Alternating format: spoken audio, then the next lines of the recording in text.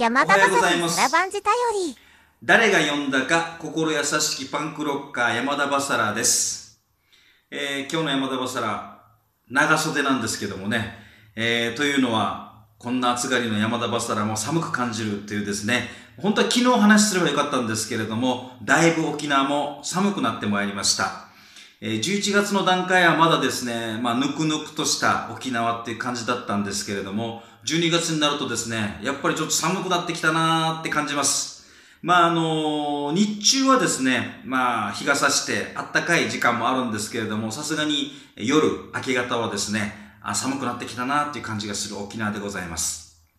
まあ、そんな12月の沖縄、山田バサラのサラバンジよりですけれども、まあ、そんな話とは関係なくですね、え皆さんにちょっとこう、お伺いしたいんですけれども、皆さん、パソコンって持ってますか？あの、マイパソコンっていうんですかね。あの、僕は15年ぐらい前までですね、ノートパソコン、えー iMac のですね、ノートパソコンを使ってたんですけれども、まあ、イベントの折にですね、まあ、あの、ぶっ壊れちゃってですね、以来、僕はもうあの、パソコンっていうのを持ってないんですよ。まあ、だからパソコンが必要だなっていう時は、まあ、えーなんていうんですか、ネットカフェなんかに行ってね、対応してるんですけれども、あとは今はですね、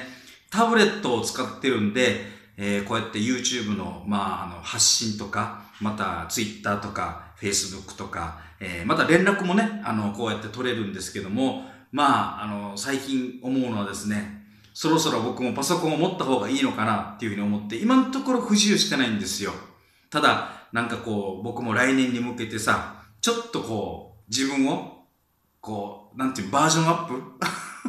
パソコン買える、パソコン買うからバージョンアップするかどうかわかんないんですけど、まあただ、皆さんはどんな感じでね、今、スマホもね、今あれば、大体もうね、使えるじゃないですか、いろいろ。なので、皆さんはどうですか？っていうことでお伺いしたいかなと思って、今日はこんな話をですね、うだうだしてみましたけれどもね、ぜひ、まあ僕もちょっと来年、ね、こう新しい山田バサラ、そして新しい活動もですね、どんどんやっていきたいと思ってますので、なんかこう、皆さんはどんな風にしてですね、例えば、えーパソコンで、えーこんな風な、えービジネスで使ってますよとかね、またパソコンがなくてもこんなことやってますよみたいなね、えー話も聞けたらいいなと思いますので、まあコメントをいただけたら、そして会った時にですね、えー実は私まだガラケーなんですみたいなですね、同じような方がいましたら非常に嬉しく思います。ということで、えー山田バサラ、相変わらずタブレットで頑張っております。